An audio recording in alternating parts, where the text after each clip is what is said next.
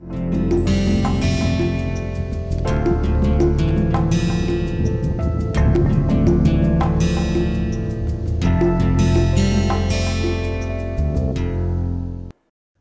everyone, welcome back to lecture number 6.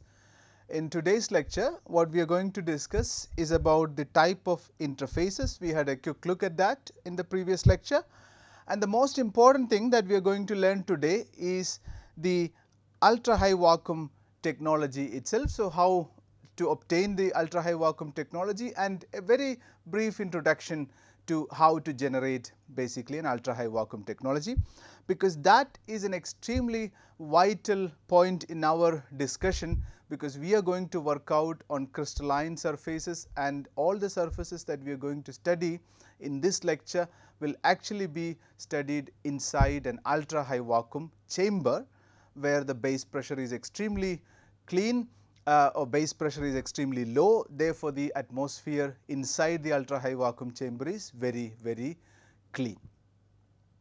So, uh, then we therefore, also would look at uh, the preparation of a, a, generic preparation methodologies for cleaning the surfaces to obtain atomically flat surfaces, because we are going to work with the atomically flat surfaces further as you would see in the examples. Good. We have already seen uh, that the typical um, type of um, interfaces for example, you have solid vacuum interface, solid liquid interface or more stronger solid solid interface for example. So, if you want to list basically the different type of uh, interfaces, the most fundamental interface that you would token or you would name is basically the solid vacuum interface. This is indeed the most cleanest and the most ideal surface that you can uh, produce and that is actually the reason why we would also study the ultra high vacuum technology itself because with that you can create the solid vacuum interface and then you can create solid solid interface, solid liquid interface, yeah, solid gas interface. Solid gas interface is also something that we always encounter in our life because we always are in touch with gas molecules. Then liquid liquid interface, liquid gas interface, you can actually just name enormous possible uh, interfaces that you think about and in our lecture we majorly discuss about the solid vacuum and solid solid and in a very few examples we would also have a look at this solid liquid uh, interface. Yeah.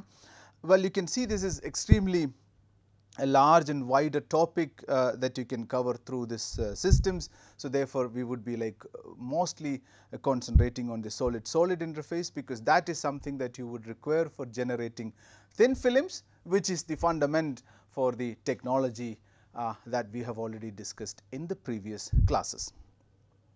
Good. So, solid vacuum interface. So, when you talk about solid vacuum interface either you take your solid to outer space yeah as you have seen in the photograph that I have showed you in the beginning or else you need to prepare a solid vacuum interface in laboratory then you need to have something called an ultra high vacuum chamber. So, we will have a look at the ultra high vacuum chamber, but before that there are some important uh, parameters uh, that we need to, to get used to understanding the ultra high vacuum uh, chamber itself. So, what is an ultra high vacuum chamber? Vacuum you have already heard about, it is just the uh, amount of gas molecules in the chamber or in the space when it getting reduced is actually something you call it as vacuum. Yeah. So, for example, the atmospheric pressure or here we have about atmospheric pressure of gas molecule present. So, this you would call it as a standard normal situation and now you, if I start to reduce the amount of molecules or atoms uh, gas molecules from this room then I can basically create vacuum.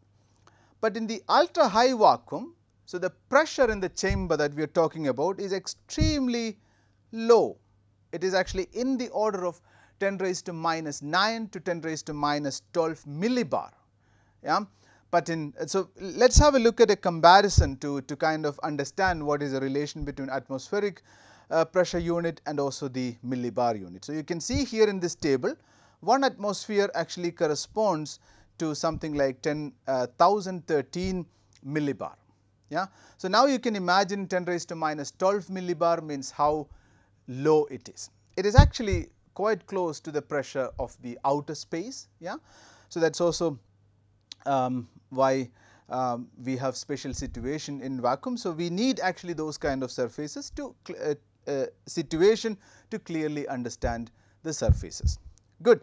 So, this is the typical unit and most of the time you might actually encounter with this unit and this is the unit that I am going to use most of the time which is actually the millibar, but you can express it in any uh, different uh, uh, unit and that actually is given by this table here. Good. So, what is the UHV going to offer you? Yeah, It is very clean that is the most important thing. So, now just for an analogy, if you would take basically a clean surface, let us imagine that you clean a copper surface or a gold surface or whatsoever, within a few millisecond the entire surface is going to covered with um, gas molecules that is present in this atmosphere. So, that means no matter what you cannot prepare or you cannot have a clean uh, surface in this ambient conditions or in this kind of room um, situation. That is the reason why you need to reduce the pressure and if you reduce the pressure to something like an ultra high vacuum chamber or ultra high vacuum condition, then you can basically keep the surfaces clean for several months. That is the interesting thing, but of course, reactivity also matters. Uh, metals like um, silver, uh, platinum, uh, gold can actually be kept for a long time even without any cleaning. So, they will remain clean, but uh, materials like more reactive surfaces like tungsten um, or uh, rhodium, ruthenium these kind of surfaces are much more reactive or iron for example more reactive surfaces and those surfaces are actually still be maintained for a few days uh, clean in the ultra high vacuum chambers.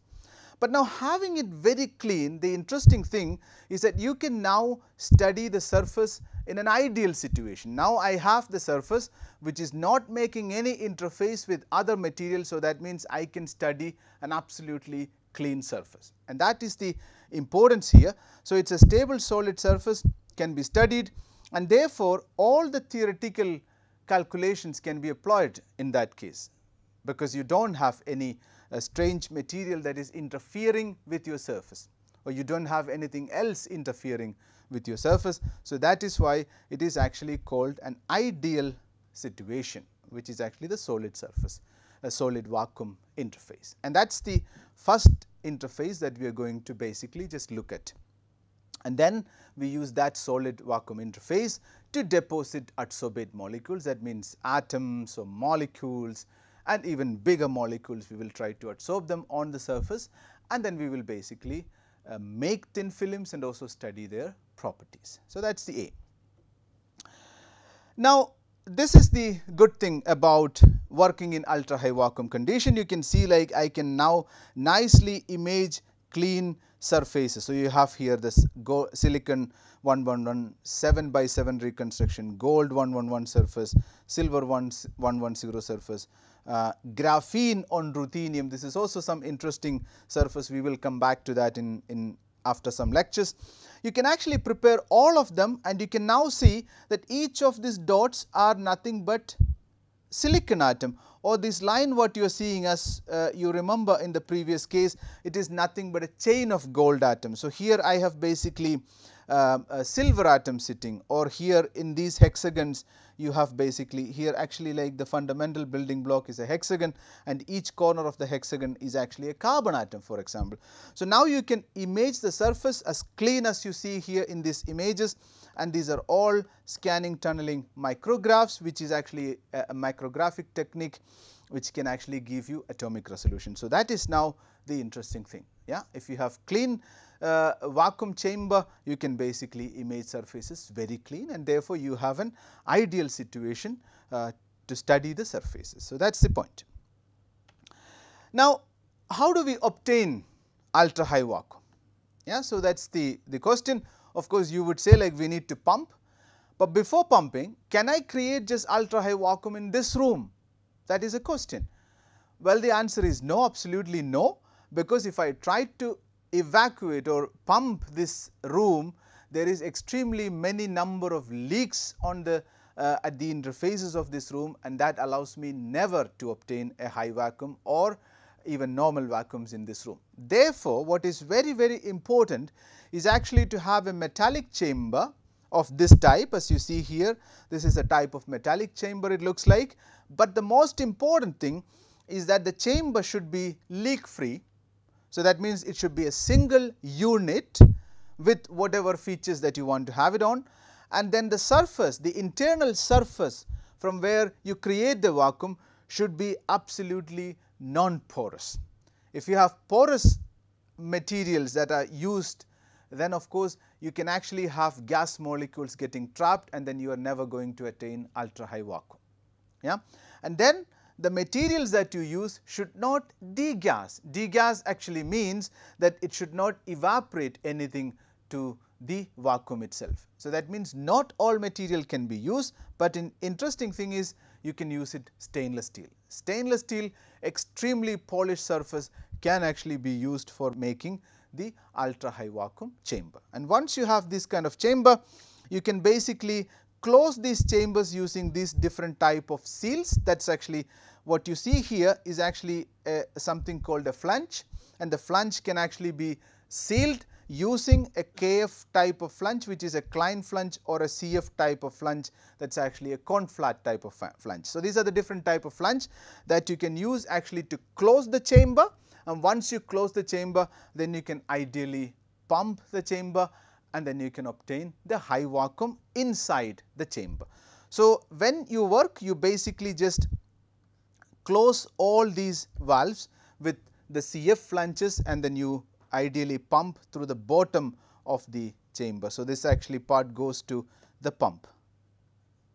This part goes to the pump and you can basically uh, obtain the vacuum. So, now this is a, a, very simple example of a simple ultra high vacuum chamber which is having a very big chamber here uh, which is actually then connected to something called a, an entry lock through which you actually put insert your samples to the ultra high vacuum chamber. So, you insert your samples here first and then after inserting the sample you pump this region first, first pumping, first pumping and then after you obtain the pressure here in the order of 10 raised to minus 9 millibar, you would move your sample to the main chamber by opening this valve. So, this is basically a valve. Yeah, so, you can now move the sample and finally, your sample will actually be inside this chamber here. So, sample will come here and then once you have the sample there you can actually do all the studies that you want. For example, you can do microscopy, you can do spectroscopy, you can do uh, desorption analysis, you can do many many things and everything will be done in kind of a similar chamber. So, that is the, the key uh, element in our in our course for example, is the vacuum chamber. Is a ultra high vacuum chamber. Now, how to obtain pump uh, the ultra high vacuum? Is very very simple. You have to pump as I told you. So, now we know how the chamber should look like and the uh, type of the chamber and once you have the chamber you can basically pump the system, but pumping there are two stages one is actually called as a fore pump and then we actually have got the high vacuum pump. So, the fore pumps are very simple. So, they are actually just displacement devices. It is like kind of a, a, screw pump or a piston pump or rotary vane pump. This is something you basically come across in, in, in kind of everyday's life. But once you actually just uh, pump the chamber with this pre-vacuum and then you basically generate a small vacuum inside about 10 raised to minus 2 to minus 3 millibar and once you obtain this so called uh, pre-vacuum then you would basically go to the real high vacuum pumps which are actually different type something which is using the momentum transfer or like refrigeration or even chemical reactions are used for pumping the chemicals inside the chamber. So, we look into uh, mainly we are going to look into the high vacuum pumps only the pre vacuum pumps you might have already seen in your daily life. So, have a look before that I just want to, to tell one important thing is that at different pressure the point is the molecules that are present in the chamber are going to have a different type of flow. So, for example, if in the atmospheric pressure the mean free path between adjacent molecules are actually in the order of 70 nanometer. But as you decrease the pressure then what happens actually that at very very large um, vacuum or very high vacuum, you see the mean free path become extremely extremely long in the order of thousands of kilometer for example. Now the problem is actually while you do the pumping you are not going to see more molecules coming together. So, you have to efficiently pump either increase the efficiency of the pumping or you basically wait long until you capture a molecule. And now the interesting thing to note here is actually in the room temperature regime you typically have the turbulent flow or a viscous type of flow known as actually a laminar flow of the gas. Therefore, you can basically create vacuum by pumping molecules continuously. But when it comes to something like very very low vacuum, so the problem is actually the molecules are going to do something called a molecular flow where every molecule is actually independent of the other molecule because molecules are far away from each other and therefore, they do not communicate to each other. So, if you pump one molecule the other molecule does not care. But in the laminar flow or in the viscous region if you pump one molecule the other molecules start to flow along with that. So, it is easy to pump. So, therefore, this need to be considered while you make the pump in the high vacuum regime. Now, this is the most important and the crucial pumping the high vacuum pumping which is actually called as a turbomolecular pump. As the name suggests it is actually a turbo pump that actually means it is something which is working at a very very high RPM. You can see it is about 90 kilohertz. That is a speed that it can reach. And it is also a molecular pump. That means you are pumping molecule by molecule away from the chamber. And so, this is basically the part where the chamber is connected. So, this is the UHV part and then the pumping is finally uh, sorry the pump is actually finally connected to room uh, along this part here. So, ideally what you are doing is you have kind of uh, different stages of rotors and stators connected together and they actually move at a very large speed and then molecule that actually get into this one get deflected through the pump and then they finally just come down to the bottom where the pressure is already high and then finally it is actually thrown out of the chamber. That is the way you do the pumping. Uh, well, you can actually attain a vacuum of about 10 raised to minus 10 millibar with this turbo molecular pump. Now, then the next one is actually pumps that are based on chemical reaction that is very interesting. What you do, so this is actually called as an ion pump. In the ion pump as the name suggests you have to create ions of the molecule. So, what you do is let us say this are actually two cathodes which is actually uh, nothing but titanium plates that means very reactive material. And what you ideally do is you create an electron flow from this electrons are flowing and these electrons are actually flowing in a magnetic field. As you can see magnets are actually used here magnets. And the magnets would actually just make the electron to flow like this along the other direction. And then when it flow on its flow it actually start to ionize the gas molecule present in the chamber. And once the gas molecules are ionized those uh, gas molecules will be trapped into again this cathode because the cathode is actually again having a negative charge that means the positively ionized uh, molecules would be easily accelerated to the cathode and the molecules are actually finally getting trapped onto the cathode. So, you ideally just accumulate the molecule that is present in the chamber. But the important thing is that this uh, kind of pumping cannot be applied if the pressure is actually about 10 raised to minus 6. So, that means these pumps are strictly strictly only working when the pressure is very very low. Yeah? So, that is the uh, most important thing.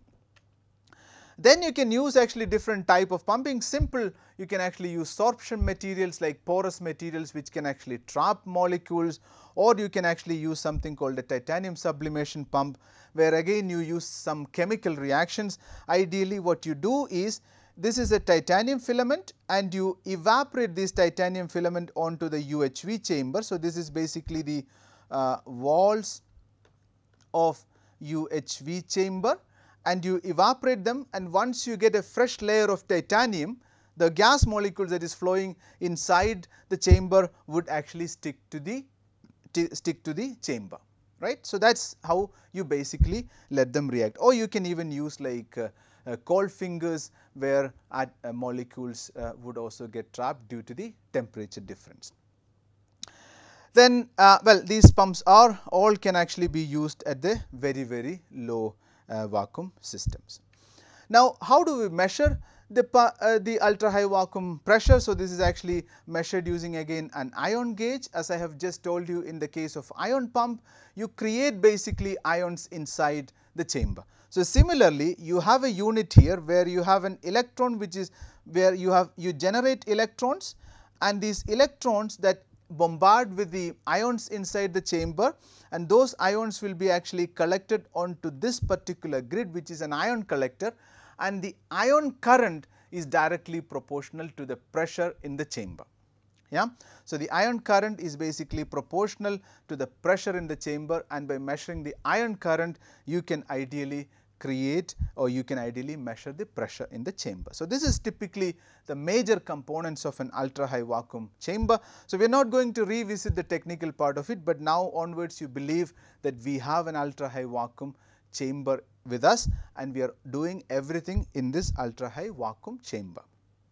Now, that is a point where we can actually now think about creating clean uh, surfaces inside the solid vacuum interface yeah, or inside an ultra high vacuum chamber. So, ideally that means it is a solid vacuum interface that you are going to create. So, what are the typical ways of preparing materials? The materials can actually be prepared by different methods. Uh, so, simple methods are actually called as cleaving. What you do is you have your material and then use some adhering material and uh, stick on that and you can basically cleave material. For example, graphite, crystalline graphite can actually be cleaved even using scotch tape. That is very simple. So, you take a piece of graphite and along the basal plane you stick the sellotape and then you actually remove the sellotape and you actually just make a uh, fresh surface. So, this is very very simple. And of course, it is actually becoming difficult for different materials, but you can basically do this cleaving method which is basically cracking the method uh, materials into two pieces uh, using along a certain crystallographic direction. Then you can also use simple annealing technique, you just simply heat the material and once you heat the surface layer would basically evaporate and once you evaporate the surface layer the surface atoms would also diffuse and then make a clean atomically flat surface. Now, uh, the most important method that people also use is actually something called as an etching by sputtering and heating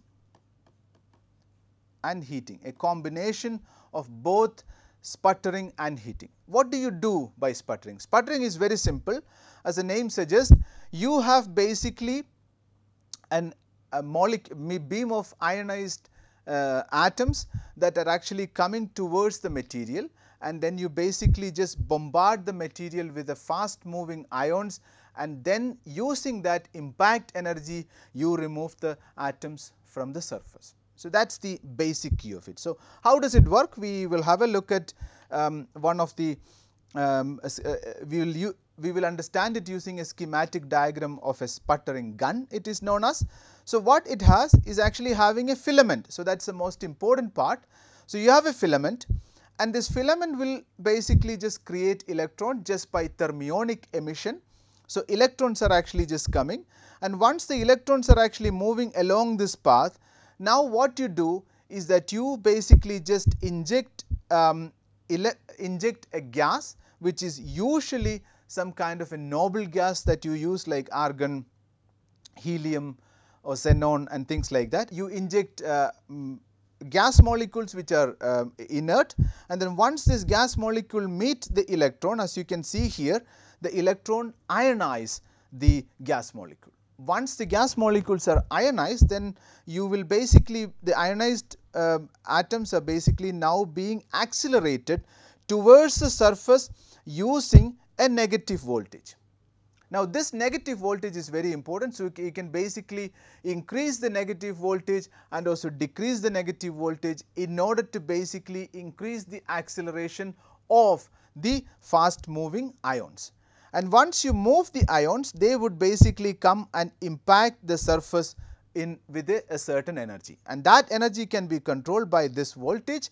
And now, you can see when the uh, atoms are actually the ionized atoms are impacting the surface atom, you can basically eject or you can remove the surface atoms from the surface itself or surface or even from the deep. It is not necessary that you always remove the surface atom, you can also remove actually the bulk atoms, but not typically uh, very deep in the bulk typically in the around the surface that you remove the atoms.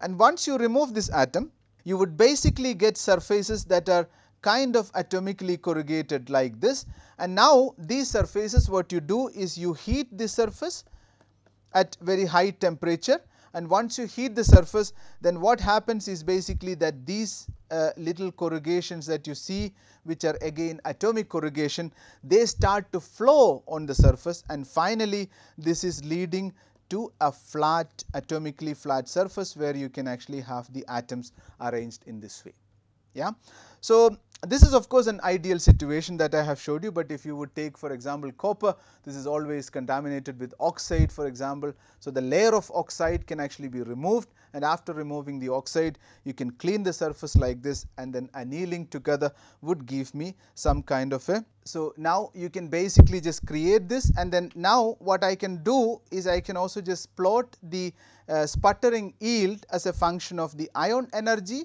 and what you basically see is that the, uh, the energy and the yield is basically related to the uh, ionic energy as well as the energy is dependent on the type of um, uh, uh, the type of gas that you use for the sputtering.